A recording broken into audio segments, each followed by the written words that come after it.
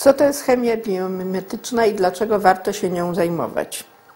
Chemia biomimetyczna to oczywiście naśladowanie przyrody. Robimy to, aby lepiej zrozumieć procesy życiowe, a może nawet wyjaśnić, jak powstało życie na Ziemi. Również zajmujemy się tą dziedziną, by wykorzystać tę wiedzę na przykład do otrzymywania materiałów o pożądanych własnościach.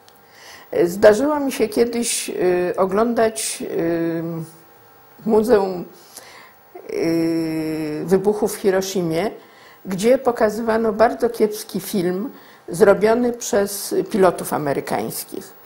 Widać na nim było, jak bardzo wysokie drzewa ugięły się tylko pod uderzeniem fali, natomiast niskie przysadziste domy rozsypały się jak domki z kart.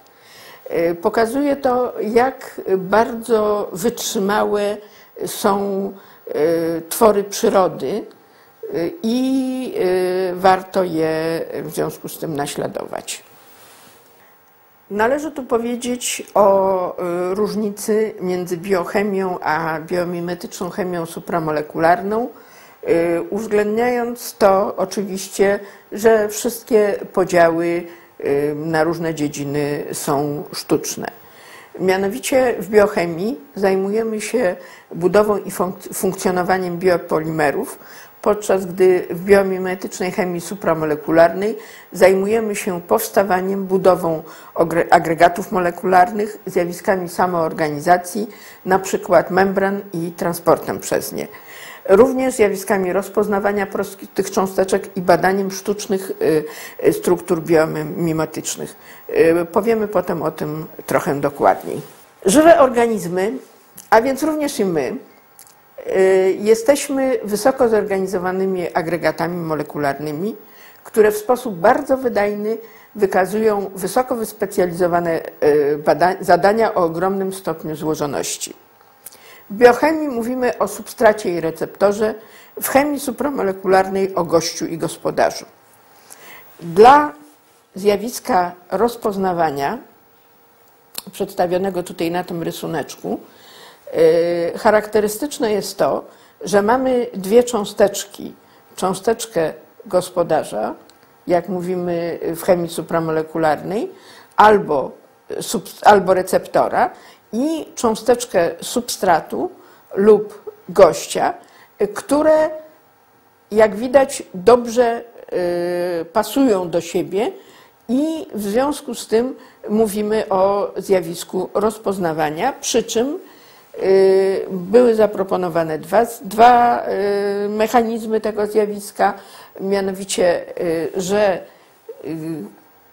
gość gospodarz i gość pasują do siebie tak jak y, zamek i klucz oraz y, zjawisko indukowanego dopasowania, kiedy na to, żeby bardzo dobrze do siebie pasować, y, i gość, i gospodarz na ogół muszą się trochę zmienić. Przypadkiem skrajnym jest heksokinaza, gdzie w stanie jakby wolnym, bez cząsteczki gościa, ta cząsteczka przyjmuje jakąś konformację, natomiast przy pojawieniu się gościa owija się wokół niego, tworząc wnękę. Y, w tym wypadku oczywiście y, tutaj już o zamku kluczu nie ma mowy.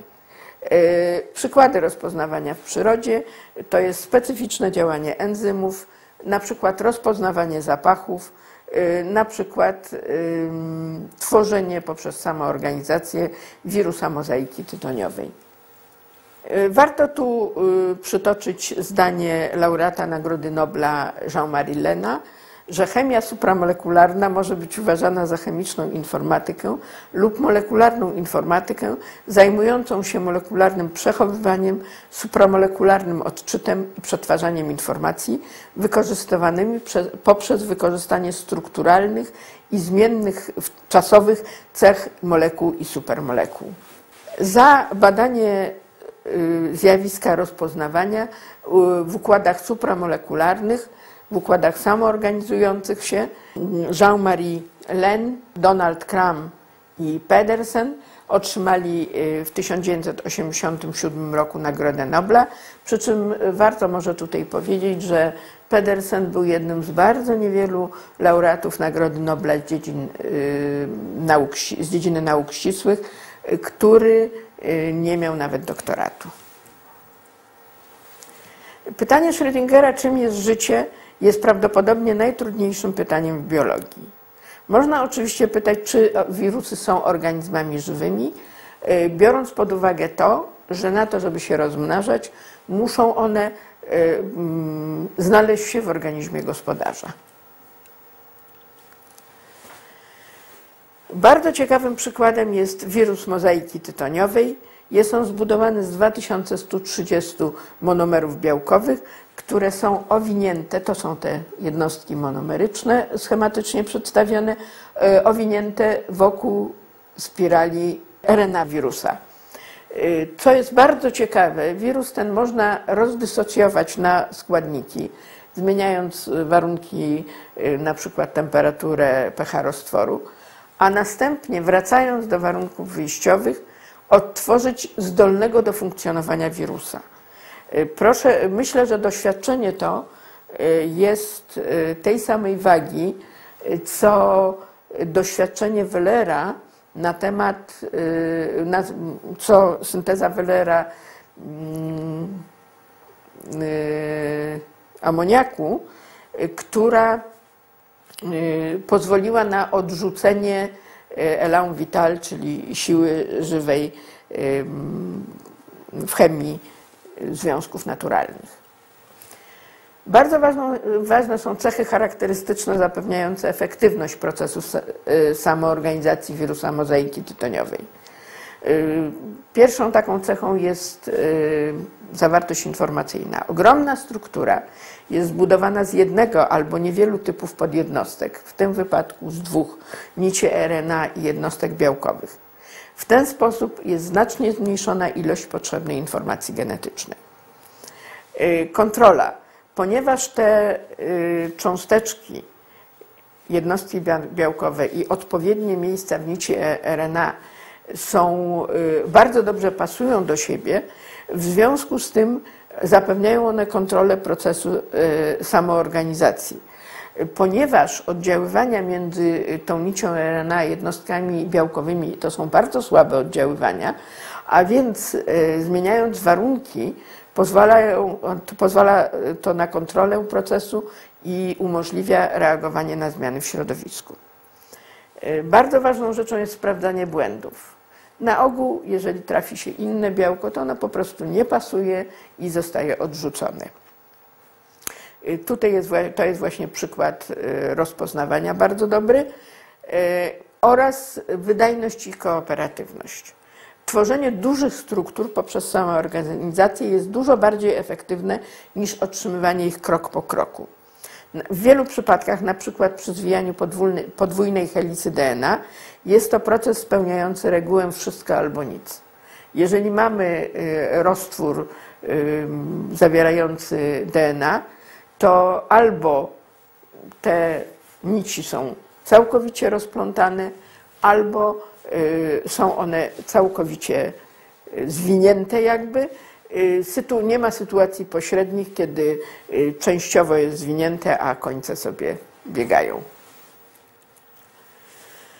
Bardzo ważne przy omawianiu zjawiska samoorganizacji są tak zwane cząsteczki amfifilowe, czyli takie cząsteczki, y, które lubią y, i warunki y, polarne, i warunki niepolarne. Lubią oczywiście w cudzysłowie, jest to może za daleka antropomorfizacja. Mianowicie są to takie cząsteczki, które mówiąc w uproszczeniu, są zbudowane z polarnej główki, jak w tym przypadku i w tym, i niepolarnego ogonka. Przy czym y, to są najprostsze schematy. Y, często y, mogą być dwa ogonki, mogą, mogą być tak zwane bola amfifile, które mają dwie polarne główki i niepolarny fragment środkowy oraz inne bardziej skomplikowane układy amfifilowe. Jeżeli taki układ znajdzie się na powierzchni, w środku kreseczkami schematycznie przedstawiony jest po prostu polarny rozpuszczalnik woda, to na powierzchni tworzy się tak zwana monowarstwa. Y, części polarne, mówiąc w uproszczeniu, skierowane są do dołu, części niepolarne do y, niepolarnego powietrza. Jeżeli y, te cząsteczki trafią do środka rozpuszczalnika, to tworzą się w nich dwuwarstwy, gdzie części niepolarne są schowane z, i wystawione na zewnątrz są części polarne. Natomiast oczywiście niewygodne są te fragmenty krańcowe i w związku z tym dużo bardziej prawdopodobne są, jest tworzenie tak zwanych miceli albo pęcherzyków, e, które są tworami większymi, e, przy czym ilość tych warstw podwójnych może być dużo większa. W tym wypadku to, tu jest tylko jedna warstwa podwójna, przy czym jeszcze w środku pęcherzyka czy miceli może być zawarty jakiś rozpuszczalnik, można tam wbudowywać różne cząsteczki, także układ może być dużo bardziej skomplikowany. Dlaczego my się y, tego typu układami interesujemy? Ponieważ y, warstwa podwójna, z tym, że w tym wypadku y, tworzona jest ona przez takie amfifile z dwoma ogonkami o różnej zresztą długości, warstwa podwójna tworzy centralną część błony komórkowej. Na zewnątrz jest tak zwany glikokaliks, czyli jednostki cukrowe, które prowadzą rozpoznawanie y, tego, co dociera do komórki, y, jakie sygnały albo jakie jony mogą być, mają być przekazane do niej, do środka, no a jakie powodują zamknięcie kanałów na przykład. A z drugiej strony od wnętrza jest tak zwany cytoszkielet, czyli układ białkowy usztywniający całą strukturę.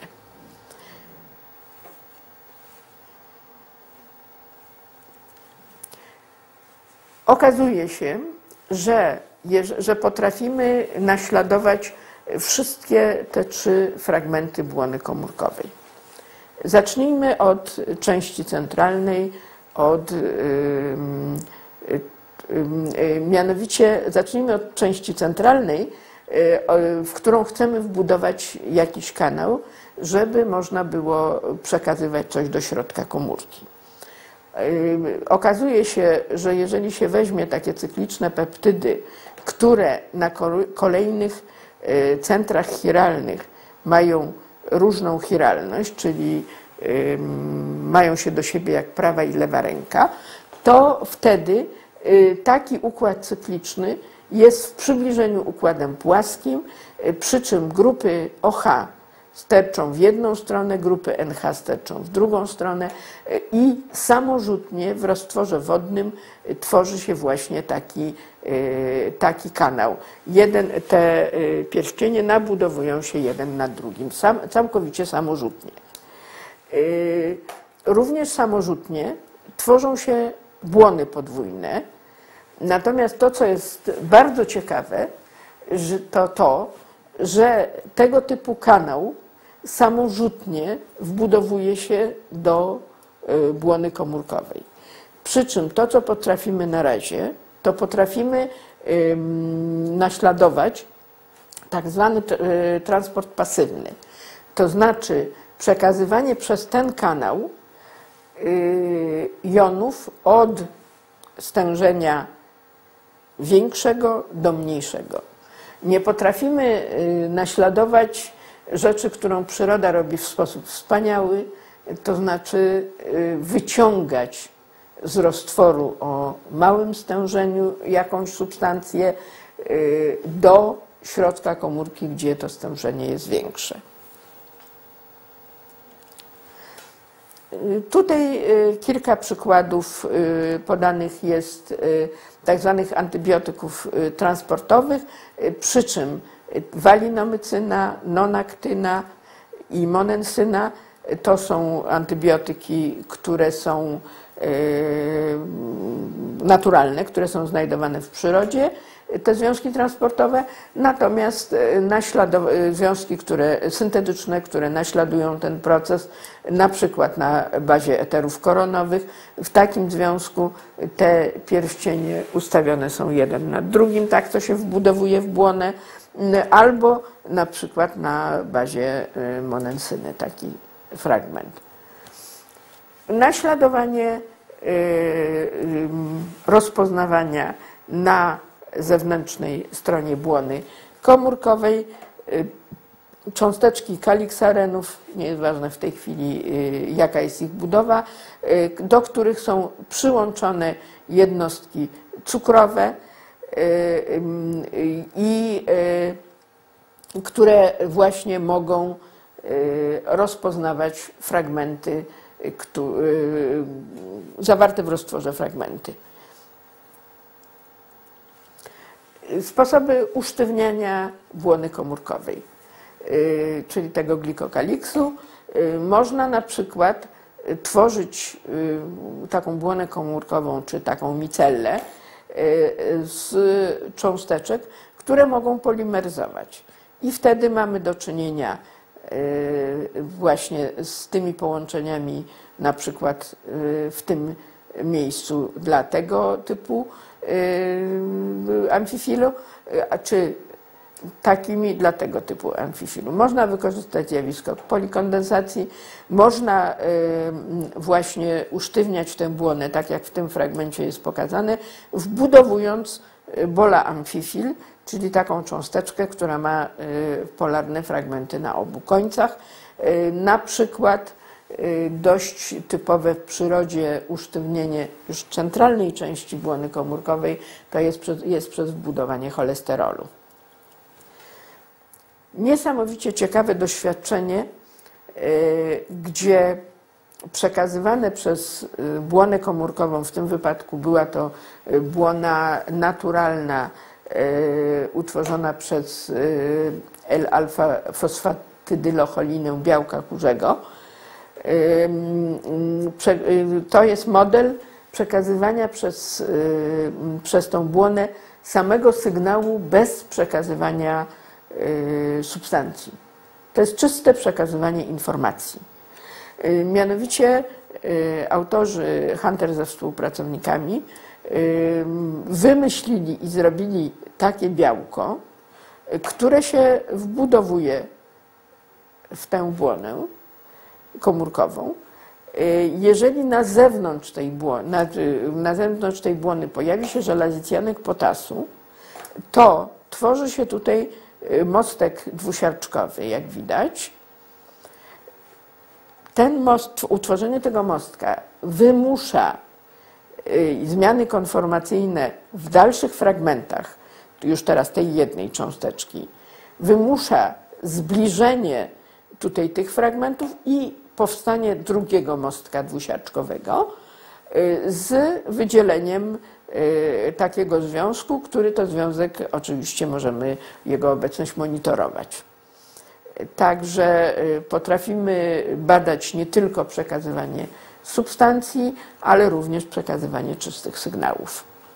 Stosunkowo niedawno, w 2003 roku, Nagrodę Nobla przyznano za wyjaśnienie budowy i przewodzenia przez kanały w błonach komórkowych, przy czym Peter Agre dostał to, tę nagrodę za badanie kanałów wodnych, a Roderick McKinnon za badanie kanałów jonowych. Kanały wodne w błonie komórkowej proponowane były już w połowie XIX wieku. Są one niesamowicie efektywne. Błona komórkowa jest wysoce przepuszczalna dla H2O.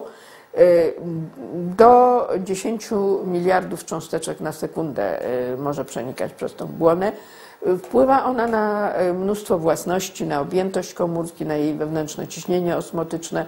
Jest to ważne z punktu widzenia medycyny, na przykład gdy należy odzyskać wodę, gdy mocz jest zagęszczany w nerkach. W roślinach odpowiedzialne za pochłanianie wody przez korzenie i równowagę wodną. Te kanały wodne są we wszystkich organizmach żywych, od bakterii do ludzi. Utworzone one są, jak widać, przez helisy, wbudowane przez, do, w, do membrany komórkowej. Agre wyizolował białko zwane teraz akwaporyną 1, które jest składnikiem błony komórkowej i pokazał, że jest ono odpowiedzialne za selektywny transport cząsteczek wody, ale nie e, takiego kationu przez membranę. Przy czym proces ten oczywiście jest bardzo skomplikowany. W organizmie ludzkim jest co najmniej 11 różnych białek podobnych do akwaporyny, a w roślinach dużo więcej. W nerkach resorbowane jest 150 do 200 litrów wody na dobę, a więc zaburzenia ich pracy powodują poważne choroby. Y, ważne jest wyjaśnienie mechanizmu tego transportu. Tam jest lokalne pole, wewnątrz kanału jest lokalne pole elektrostatyczne, które, co jest bardzo istotne, powoduje reorientację cząsteczek w środku kanału, tak, że ich momenty dipolowe są różne i w związku z tym y, nie, y, nie tworzą się takie dość sztywne, dość stabilne układy wiązań wodorowych. Kanały jonowe. Zostały one zaproponowane y, przez Oswalda w końcu XIX wieku. Natomiast y, w połowie lat 90., 1990 było wiadomo, że kanały jonowe muszą mieć wąski filtr selektywności koło zewnętrznej części membrany i oddzielną bramkę sterującą napięciem na drugim końcu. Selektywność uzyskiwana jest dzięki odpowiednio umieszczonym atomom tlenu w filtrze, które powodowały, e, powodują, że główne jony o pożądanym promieniu desolwatowane są na wejściu do wąskiego filtra. McKinnon uzyskał pierwszą strukturę wysokiej rozdzielczości dla białka zamkniętego, a następnie otwartego e, kanałów jonowych. E, przy czym tu jest bardzo ciekawa sprawa, mianowicie taka, że y, y, sprawa równowagi między jonami y, K i Na, mianowicie,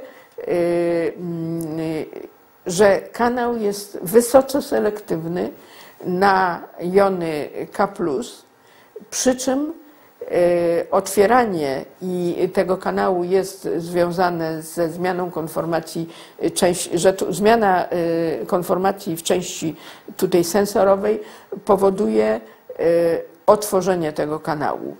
Natomiast co jest związane właśnie z supramolekularnym charakterem tych kanałów, Y, bardzo ciekawe jest to, że większy kanał, który mógłby y, powodować, y, tak naiwnie sądząc, lepszy przepływ jonów sodu, które są mniejsze, wcale tak nie działa. Mianowicie ważne jest, że jon K dobrze pasuje do odpowiedniej wnęki i że w związku z tym tylko on jest, y, jego siła wiązania jest większa i tylko on jest przekazywany wzdłuż kanału. Może warto powiedzieć również, że Nagroda Nobla y, w 2004 roku y, była przyznana za badanie receptorów węchu, a więc też za badania związane z biomimetyką.